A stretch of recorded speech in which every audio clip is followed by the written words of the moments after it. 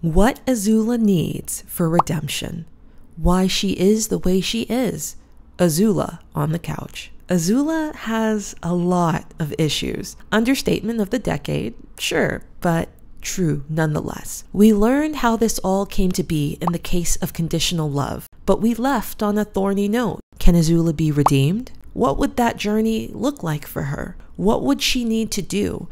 And what would she need in order to do it? And at the end of it all, when her own reserves and motivations fail, who can help her best on the path of change? Because at this point, Azula can't do it by herself, but we'll get there. Let's focus on the things that only Azula can change. Let's start with a few basic things. What Azula needs and why. Everyone into the hole! It's so dark down here. Well, what choice do I have? Trust is for fools. Azula needs to learn how to trust. Azula definitely does not trust other people. She uses wit, fear, and skill to keep a tight leash on those in her circle and those outside of it. She uses people's insecurities and weaknesses without a second thought. Anything to keep the control in her own hands. She doesn't show all her cards. She doesn't spare a lot of intimacy. It's almost as if she's too clever for trust, too smart. She thinks not being trusting to be discerning and cynical is more of a power and neutral than to trust those in the world blindly. And sometimes in the show, she even convinces the audience of that. In her situation as a royal princess with enemy nations, it almost makes sense. I'm sure that's what she thought, and what she wanted other people to think too, like Zuko. Trust is for fools. Isn't that what she said? Trust is not for fools.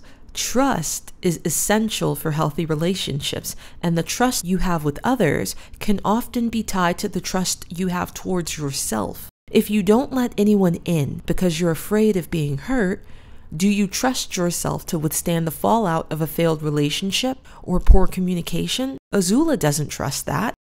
She doesn't trust that if she doesn't keep her friends afraid of her, fearing her, that they will desire to stay with her without it. Azula doesn't trust that if she fell below top tier effort, that her father would still value and compliment her alone. She doesn't trust that if she lets Zuko in or close to her, that he would embrace her. She thinks he's waiting for a chance to strike her down, and she treats everyone else in the same way.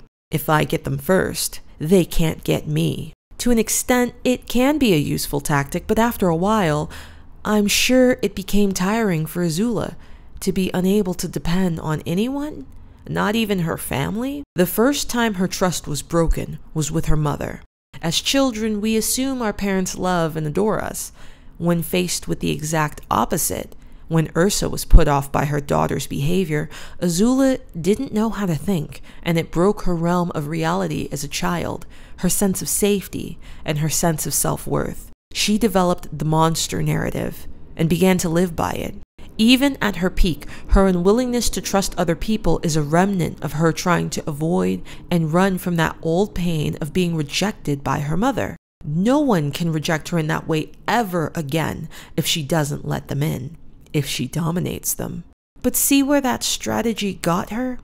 Alone, as she felt from the beginning and as she felt in the end, always alone. To heal, Azula needs to learn how to trust that she alone is enough to maintain relationships and that she is capable of rising again if a failed relationship or communication knocks the wind out of her sails, as her mother did with her so long ago. She can have friends, she can have lovers, she can have old family and new family, but she will need to be able to trust. And for her, this may be one of the hardest things to do. It goes against everything in her that she sharpened in order to survive. But Azula is nothing if not resilient. I love you, Azula. I do. Number two, Azula needs to learn how to love others and herself. Azula may like herself, she may even respect herself, but she doesn't love herself. If she did, she wouldn't do everything in her power to make her father love her, the one person she thinks is capable or willing of giving that to her. She wouldn't live by this idea of Ursa thinking she was a monster if she loved herself. She wouldn't use tactics outside of herself to bind people to her and her will, even if that's against their wills. She would know that she was enough. When Zuko learned that he alone was enough without the crown, without the history, without the imperialism, without the prestige, without the wealth, without the looks, without the respect, and without the love, when he learned that he was enough, he was finally free from Ozai's stranglehold and everyone else's for that matter. Zuko is his own man, an authentic man, because of this hard learned lesson. It was my idea to burn everything to the ground. I deserve to be by your side. Number three, Azula needs to learn that she doesn't need to do anything else to earn love from those that truly matter. She could trust enough to let people love her and let them in, but the question is, Will she? Does she know that she doesn't have to do anything for real love? Does she know that love can exist outside of conditional parameters? I don't think she does, as she's lived her whole life under a man whose love was conditional and a mother whose love seemed conditional. And so Azula's going to have to learn that there are other options for her in terms of intimacy, love, and connection outside of meeting people's conditions. She doesn't have to do anything not for the ones that matter. My own mother thought I was a monster. She was right, of course, but it still hurt. Number four, Azula needs to learn how to let go. Of what, you may ask? Well, the first obvious thing would be to let go of the idea that her mother thinks she's a monster. That's easier said than done. Yes, it hurt her, and it still does. Yes, it affected her life and her self perception deeply, and honestly, Yes, at certain points, it held some validity. Azula did monstrous things without a care in the world. But is it true? Is she a monster?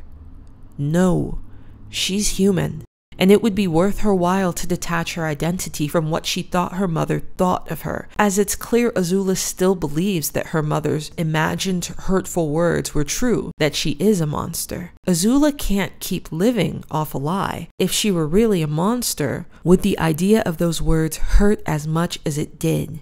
Another thing on letting go. As Azula attempts redemption and tries to live in a different way, she's going to face a lot of anger anger over how things turned out, over missed opportunities and missed chances. She's going to face a lot of grief, loss, resentment, and bitterness. This will only increase as she gains further clarity on what her father actually did to her and her life, and what she did based off of those things. It's funny because we already see Azula as an angry enough kind of character but that is the tip of the iceberg on how angry she's going to be once she realizes the truth. At this point, her entire youth and formidable years have been squandered by pursuing her father's imperialistic desires and trying to shape herself into the best daughter for him. He's in prison, She's in prison, the throne is lost, the colonies are free, and the person she had been competing against is king now, a person she believed was inherently weak and flawed, only for him to prove to her that it was her all along, and the man she idolized that had been weak and flawed. Azula is in the dirt, looking at a lifetime of pure effort with nothing to show for it. As we saw in the show, Azula had few friends. She didn't date, she didn't relax or do regular teenager things. She trained and fought and strategized and executed. She lost out on a lot of the things that occur during youth close relationships, learning of her own unique interests. The list goes on. She can still have those things, but not through the lens of childhood because that's gone, and not without immense effort on her part to unlearn a lot of which she spent a childhood learning, attaching her identity and her self worth to things she deemed important at the time, not things that may have actually been important to her. What am I holding? A cherry pit, Princess. Correct. And what day is this? It is the day of your coronation. Yes, it is. So please, tell me why, on the most important day of my life, you've decided to leave a pit in my cherry? It wasn't a decision, it was just a small mistake. Small? Do you realize what could have happened if I hadn't sensed the pit in time? I suppose you could have choked? Yes. Then you understand the severity of your crime. Number 5. Azula needs to learn that she can be safe even when she is not controlling everything. That things won't fall apart the minute she loosens her grip on the reins. Azula feels threatened at all times, and though she handled pressure with immense ease throughout the seasons, we all see how that lifestyle caught up with her in the end. Azula never decompresses, Azula never relaxes, because Azula feels that the minute she is not in control is the same minute that she will lose her father's affection, her peers' respect, and her general safety. She doesn't need supreme control over others or her own human impulses to be safe in the world. But she doesn't know that yet.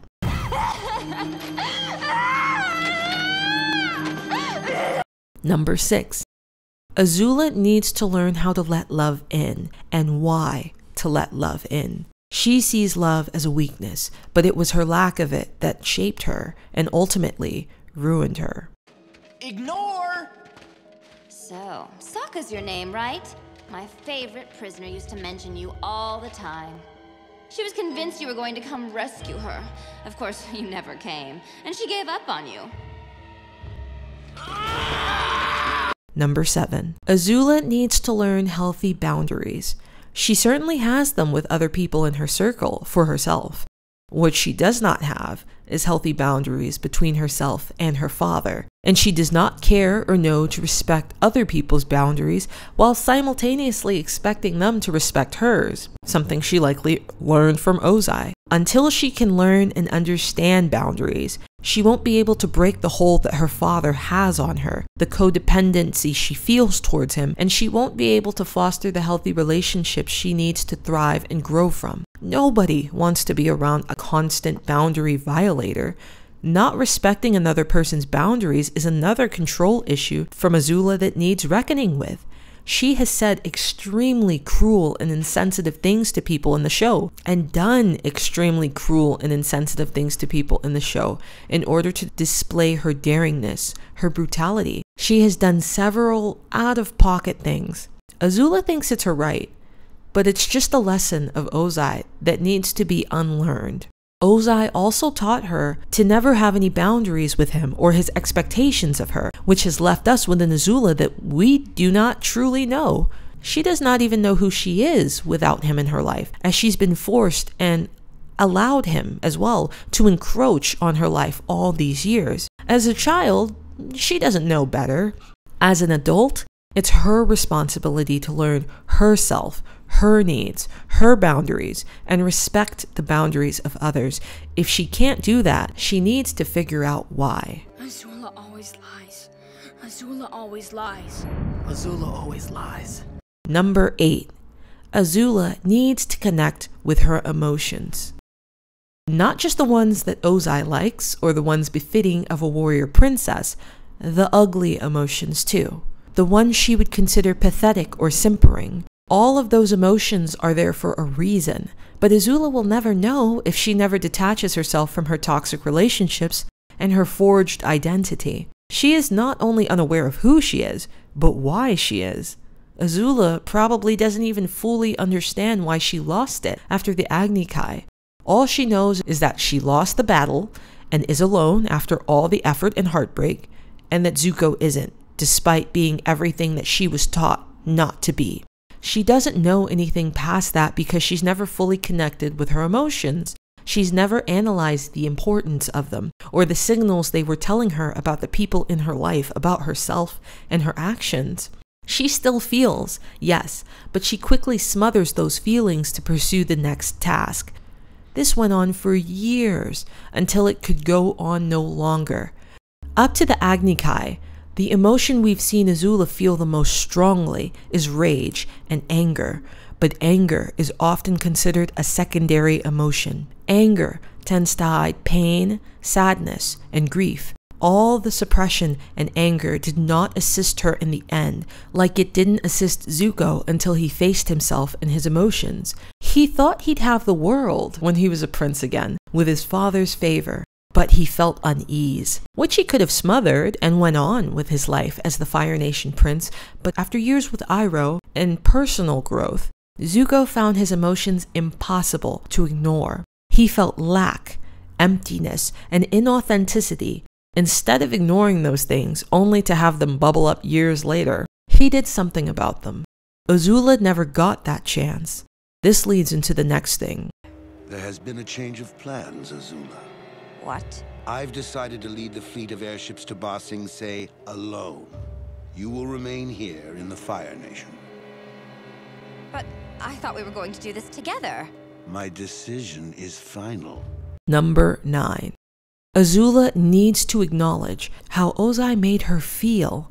Ozai was condescending, domineering, and cold. I don't think Ozai gave Azula kisses or hugs or even shoulder pats. I think he gave his daughter compliments and praise sparingly. She fought desperately for his affection, yes, but that in of itself had to have made her feel horrible. Who wants such a conditional love? A love that will only happen if you check all the right boxes in the right order and fit yourself into those boxes that may not even reflect your true shape, your true personality and desires. Ozai didn't love his daughter. He loved an expectation, an ideal, not Azula. And in a way, I think we all know that she knew that. If she wants to redeem herself and grow past her father and his expectations, she will have to face that demon. And that's not the only one. Even you fear me. No, I love you, Azula. I do. Number 10. Azula needs to acknowledge how her mother made her feel.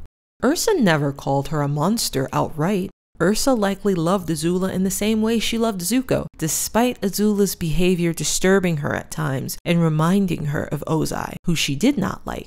But it was how Ursa treated Azula that unknowingly built this narrative, this monster of a misunderstanding. Ursa did call out Azula's faults when Azula was around. She did not appear with Azula as intimately on screen as she did with Zuko. We see Ursa hug Zuko, talk with Zuko, play with Zuko. We don't see so much of this for Azula. They are Zuko's flashbacks, so his view will be biased, but from them, we can garner that he was a mother's boy while Azula was a daddy's girl. It is likely she became more of a daddy's girl because she felt her mother's love was closed off to her. She probably felt like she had no other option.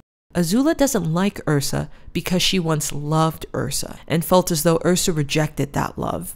Ursa was Azula's first love, as are most children with their mothers. Azula's first love made her feel ostracized, unvalued, and monstrous. Azula questioned her identity, wondering if she was really a bad person, a bad daughter. The answer scared her, because if the answer was yes, that meant she wouldn't have love ever, because who would love a monster, right? And so, to avoid answering that question, she obsessed herself with becoming Ozai's golden child.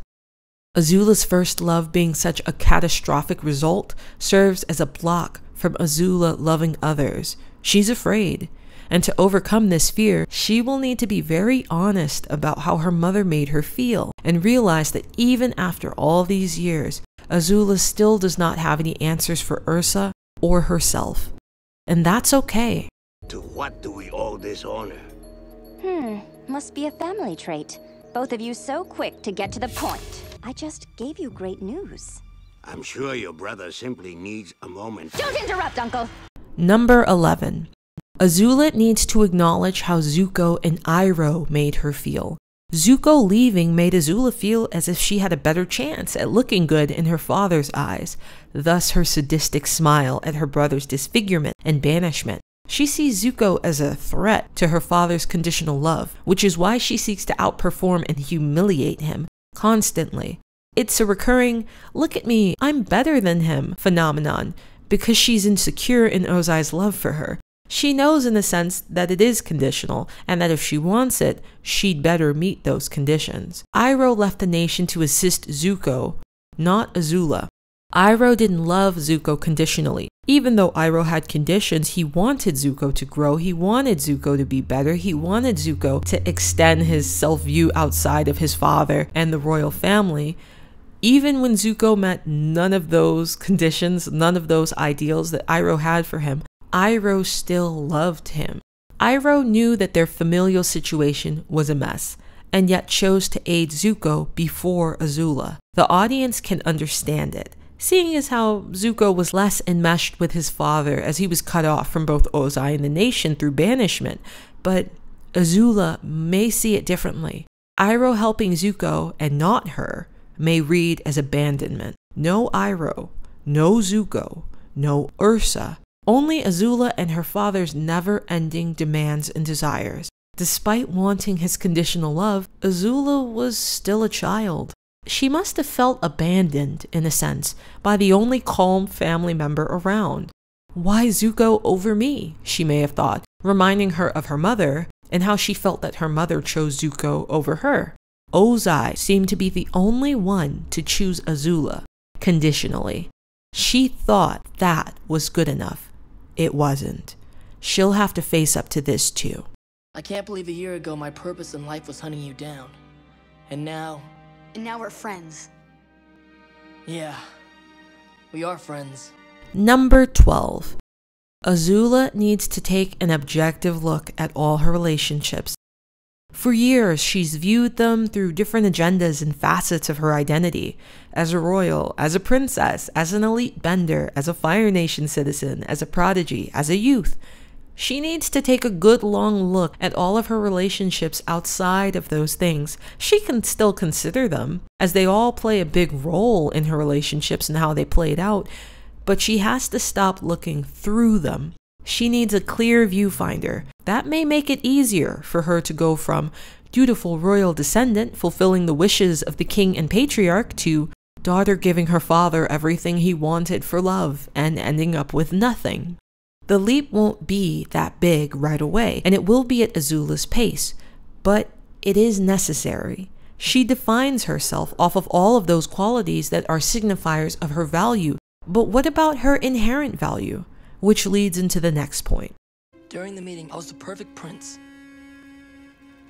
The son my father wanted. But I wasn't me. Number 13.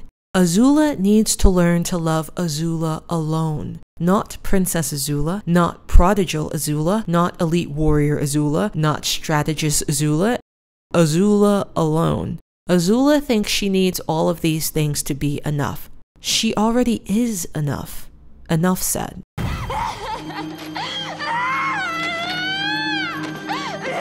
Number 14. Azula needs to learn that she deserves love and that she deserves the space to be emotional and upset. This will likely be one of the hardest tasks for her to accomplish. A lot of Azula's emotional resentment and frustration is with her parents. She is from a filial society where elders are revered, more so in higher class families and the utmost in a royal line. Any hostility from her, even if she truly felt it, could be read as a threat, a disgrace, an ungrateful child, a waste of a child. Azula doesn't want that. Azula wants to matter. She wants to have value. Showing her true emotions puts her in danger of losing that with the people that matter most to her, or so she thinks. And then, deserving love. Do you think that Azula thinks she deserves love? Monsters don't deserve love. But Azula has to learn that she isn't one. And that will be difficult after a lifetime of running from those connotations and after a lifetime of living by it to avoid how it makes her feel. Um, and what exactly do you think this will accomplish? Why does Azula need all these things for redemption? Here's why. Azula herself would not agree with the majority of this upcoming list for obvious reasons, but this doesn't make them any less true. Azula doesn't feel safe. Azula doesn't feel loved unconditionally and doesn't know how to do so. Azula doesn't feel in control. Azula doesn't feel valuable inherently. What she does is valuable, not her. Azula is insecure. Azula does not love herself. Azula does not know healthy boundaries. Azula does not know how to stop working off the past and work in the present. Azula doesn't know how to connect with her own emotions and sensitivities because right now she is numb. Azula needs to acknowledge what she needed as a kid and that she didn't get it and what it did to her and still does to her. Azula needs to stop being classist and supremacist and materialistic. She is enough without those things. Azula needs spiritual work. Deep spiritual work. Deep, deep, deep. If Azula is going to get better, healthier, and grow as a person, she needs to do all of these things in some aspect. Doing some things will inherently help her do others, like learning to trust and learning to love go hand in hand. Fulfilling these redemption obligations will not make her everyone's ideal version of a good person. They may not even make her good. The end of her redemption may feel unsatisfying or null to some. She'll never be perfect. But perfect was never the goal. Healing is. And Azula's redemption will look a lot less like a villain turned hero and a lot more like a victim turned survivor. She may not help save the world like Zuko, but if she can save herself, that is enough. And that might put her halfway to saving the world from the person she would have been had she not healed. Damaged or healed, she's a force to be reckoned with, and she owes it to herself and others to better herself, knowing all the damage she can do, and also knowing that she deserves to get better. She will grow, she'll change, and that's all she really needs, and all it will really take in the end. She needs to be brave enough to kill herself, not literally, metaphorically a different kind of end, a rebirth.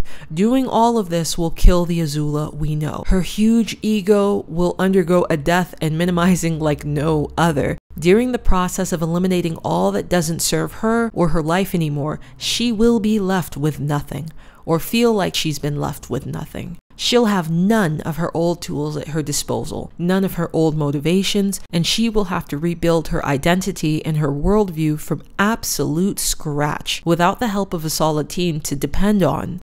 For someone as power hungry and controlling as her, this would be ultimately terrifying in every way. Her worst nightmare. No control, no power, no identity, no survival tools, no one, nothing she will be like an infant, an angry, betrayed infant with baggage and a flamethrower. She will slip up constantly, make mistakes, and want to quit because growth in what she needs to be better, love and self acceptance, is not familiar to her. And because she does not know these things, it will be hard for her to see the value in them that is worth the immense pain of self transformation. She has spent a lifetime on doing external things for the validation, respect, and fear of others. Zuko was torn from that path the day he was forced to bear his scar. He was corralled into a different life, and it's why he keeps his scar, as it sets him apart. But Azula will have to choose it, as Zuko ultimately did in the end. Despite being forced, despite being burned and disfigured, despite abandonment and all the horrible things his father did to him, Zuko still sought that acceptance in the same way Azula did. They weren't so different, but Zuko ended up being different in the end because he chose something different. She has to want to change, not just for others, but for herself. You may think she is completely selfish and self serving, but it is a guise. She's afraid, and she doesn't like herself, because if she did, she wouldn't spend every waking moment and breath trying to gain validation from and appease a man that clearly does not care about her, even if he is family, even if he is king. And if that hits home, good. Azula must learn to love Azula. You must learn to love you.